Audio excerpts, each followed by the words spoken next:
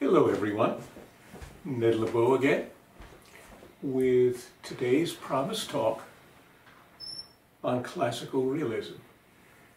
And classical realism I offer as an interpretivist understanding of realism in sharp contrast to either realpolitik or neorealism. Neorealism we're familiar with from the last uh, talk. It is personified in Kenneth Waltz's theory of international relations that attempts to make it into a positivist science.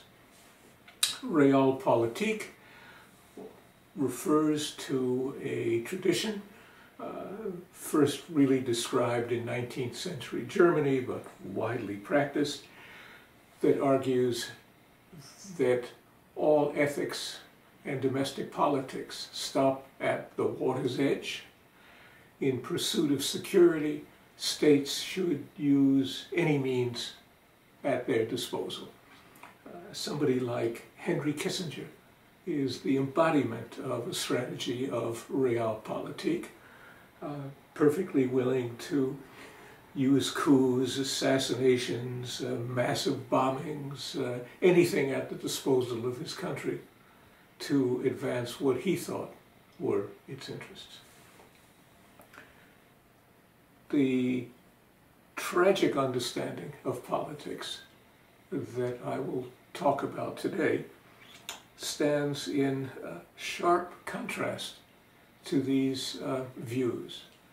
Uh, if Waltz and neorealism look to science for their guide. Uh, Hans Morgenthau and others who represent the tragic understanding of politics and international relations look to literature. Uh, they see politics as more of an art than a science, and literature as a guide to both how it should be understood and practiced. Now, tragedy developed in 5th century before the Common Era Athens in the form of plays that were performed at festivals. Uh, citizens came in large numbers to watch and talk about what they saw afterwards among themselves.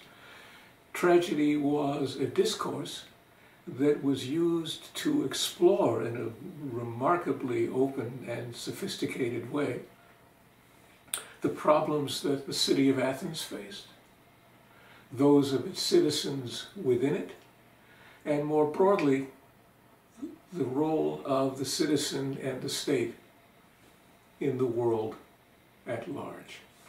Uh, it's very hard in the scope of a talk like this to really give uh, any kind of meaningful elaboration of the concept of tragedy. So instead I'll use a shorthand and refer to four kinds of dilemmas that tragedy highlights. Um, the first might be called uh, tragedies of character. That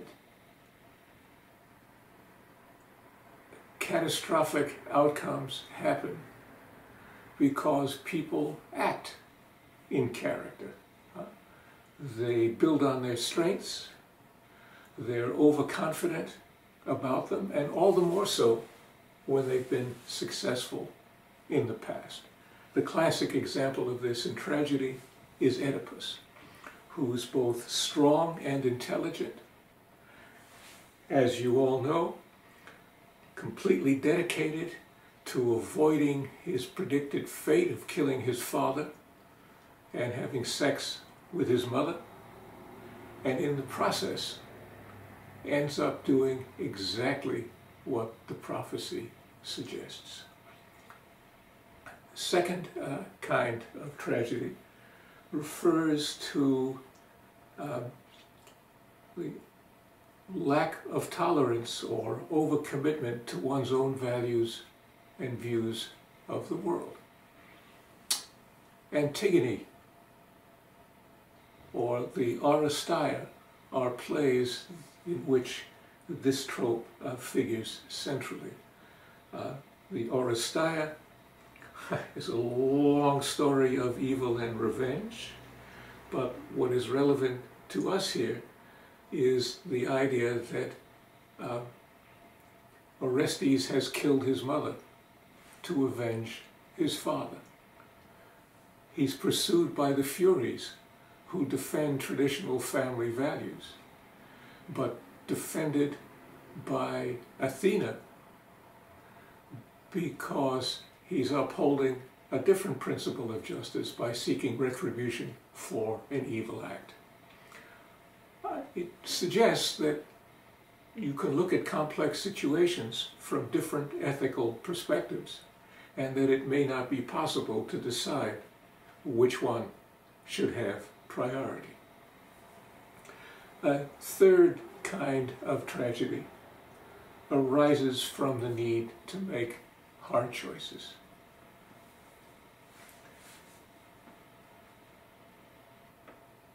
Do we uh, pursue our political uh, goals, uh, even if it means riding roughshod over the rights and interests of others?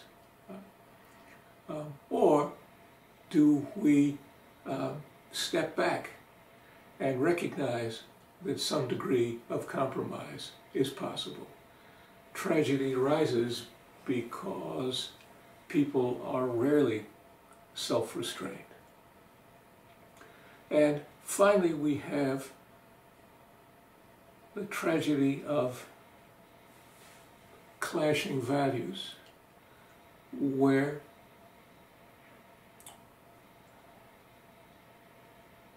people are embedded in a particular understanding of their responsibilities and roles and don't recognize that others are as well. Um, Antigone is committed to family and buries her brother despite the prohibition against it issued by the ruler of Thebes, Creon, because her brother had been a rebel.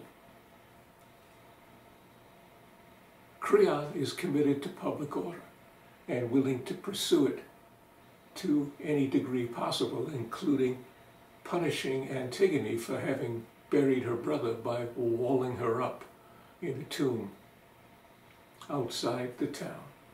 In the process, he fundamentally destroys his family and brings the city again close to the brink of a civil war.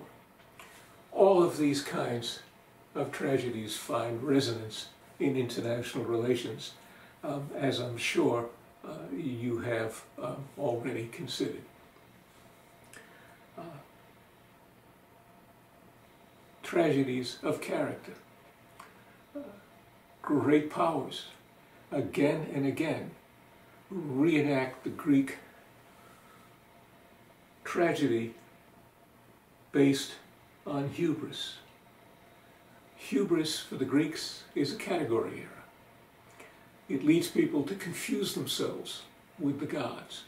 They believe they can predict and control the future the way the gods do. They engage in complicated, far-reaching plans or plots in the expectation of making gain, but in fact produce loss. Consider from early modern Europe to the present, the successor of states, of the, yes, the succession of states who have sought to become hegemons, to dominate those around them. Philip of Spain, Louis XIV of France, Napoleon, uh, Kaiser Wilhelm, Hitler. Each of them started conflicts thinking that they would emerge as victors. In each case, their efforts to gain incrementally or gain control over Europe led to their defeat and in some cases their destruction.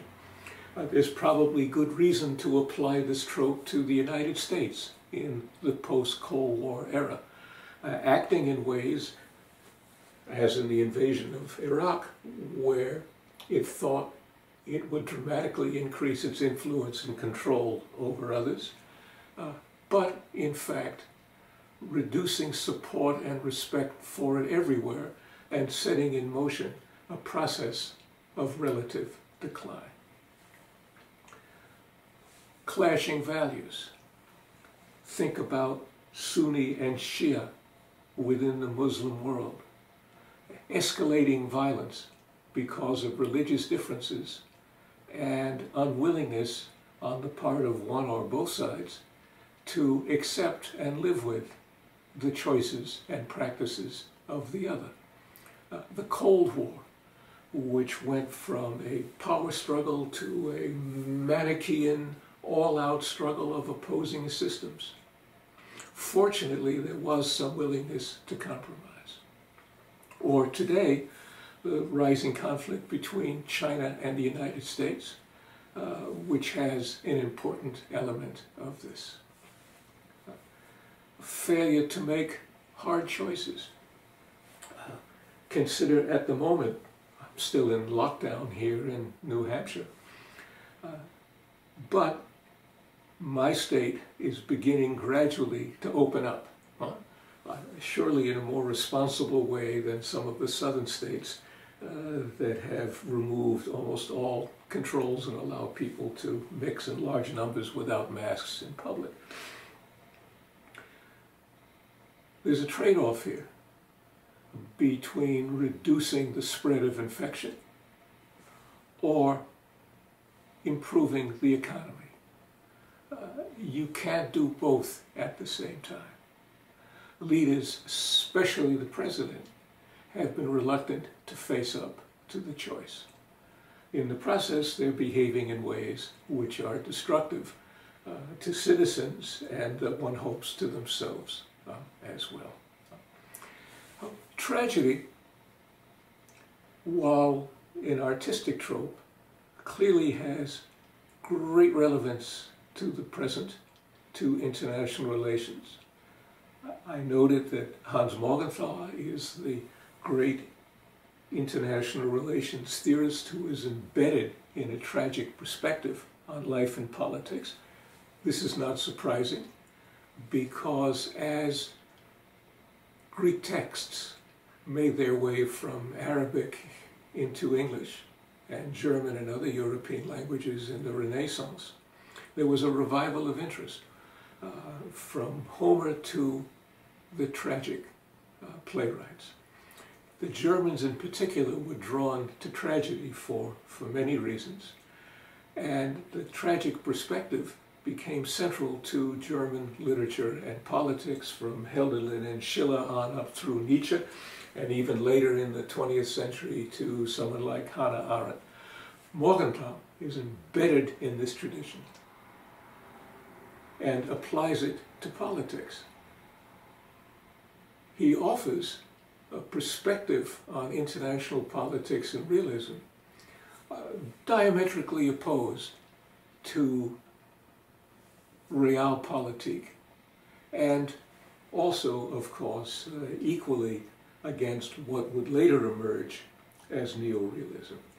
Uh, from Morgenthau's perspective, drawing on tragedy, realism teaches us that the real threats to great powers are not other great powers, but themselves.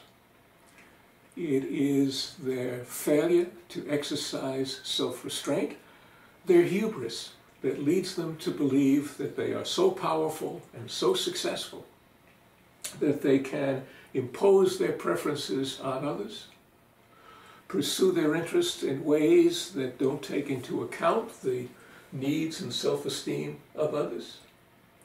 And by doing so, undermine, if not destroy, their leading position.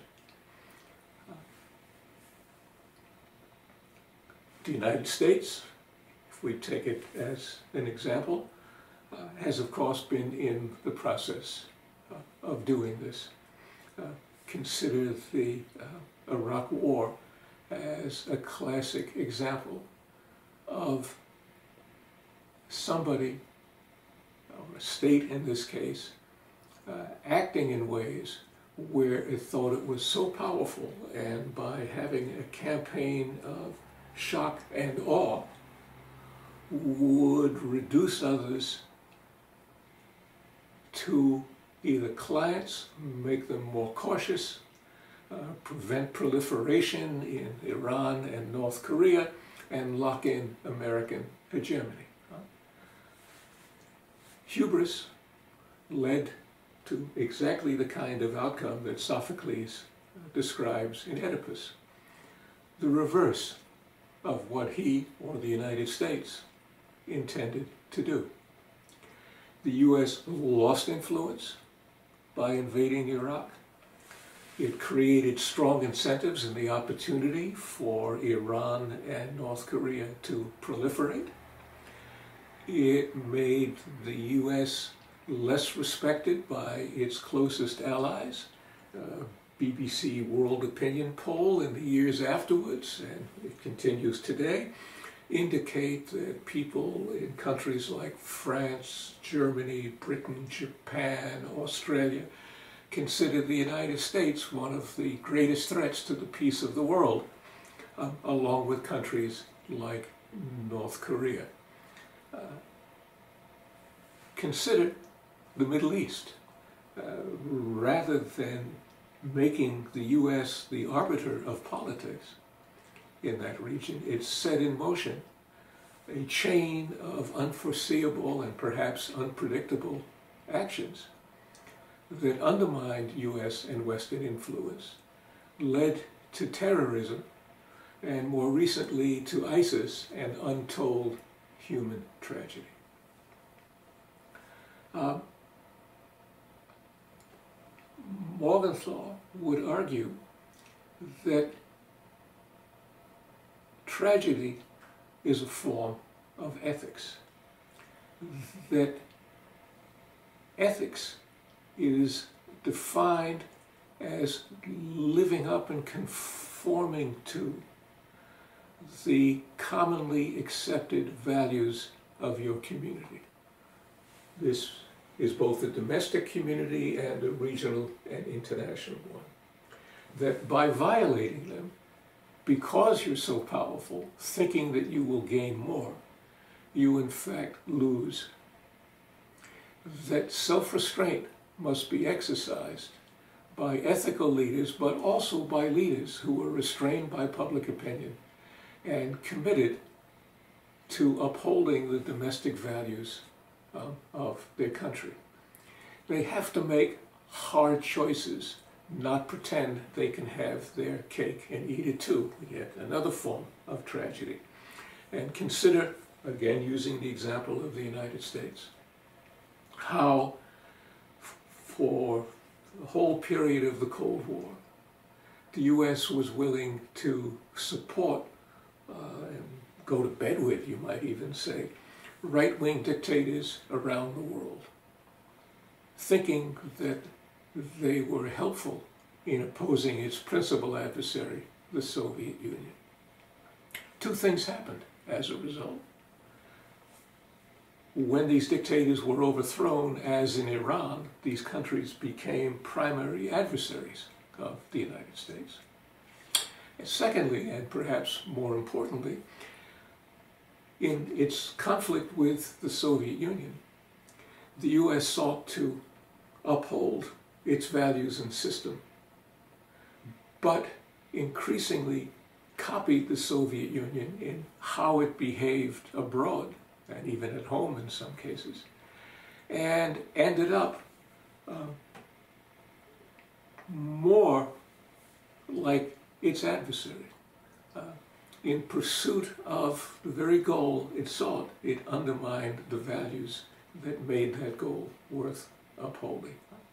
So, classical realism, uh, which I've given just the uh, broadest overview of today, offers a very different perspective on politics, an interpretivist one, embedded in literature, embedded in ethics, and certainly going back again to the Greeks, offers phronesis uh, as its goal, a, a way of formulating appropriate values and pursuing them intelligently.